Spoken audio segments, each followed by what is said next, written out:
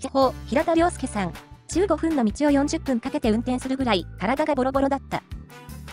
まず、運転ができない。ハンドルを握り、アクセルを踏むと、まるでジェットコースターが急降下したような感覚に襲われる。やばい。危険を察知して、路肩に車を止める。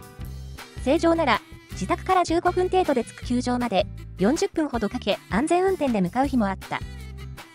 なんで、そんな状態で運転するの？アホなの？本当にな。事故らなくてよかったよ。不節制どころかアスリートとして人一倍体に気を配っていた平田からすれば。シーズン中は気を使ってたかもしれんがシーズンオフのデブに具合見るに信用ならんぞ。運転しないでタクシー頼めよ。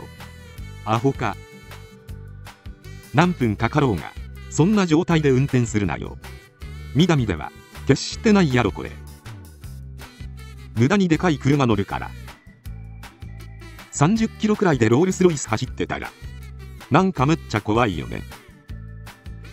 事故る可能性もあるし運転すんなよという話行き着くし結局ずれてるんよな。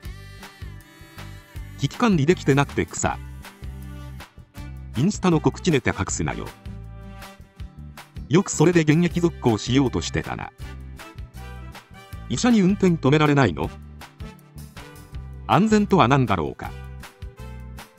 ロールスロイスはまだ維持してるのか知らんけどモンクレールのダウン切れるくらい余裕あってよかったわ